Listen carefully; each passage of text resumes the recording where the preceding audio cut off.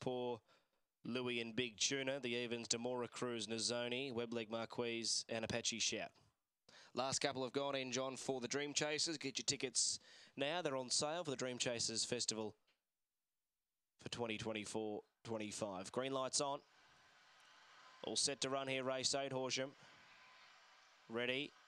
Away and racing, walking out was Apache Shout. They all jumped okay. Iron Atlas is going forward. The favoured leads from Nazoni in second. Third placing is Demora Cruz in fourth. Then came Elk. Midfield behind those runners is Webleg Marquise. Behind it, then Paul Louis. Second to last, Big Tuna Apache Shout at the tail end of the field. Iron Atlas leads into the straight. A length and a half, two lengths over Nazoni. Demora Cruz. Then came Paul Louis. Iron Atlas is going well late. Surges towards the line. Won up by three and a half lengths on the end to Demora Cruz. Paul Louis Louis got third. Fourth, Nazoni was close up with Apache Shout, Webleg Marquise, Big Tuna.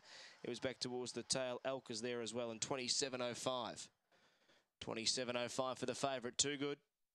Three beats two and five. Three, two, five, and fourth to be confirmed. But Iron Atlas was away well from three and has been far too superior in the end at around 250 into $1.20.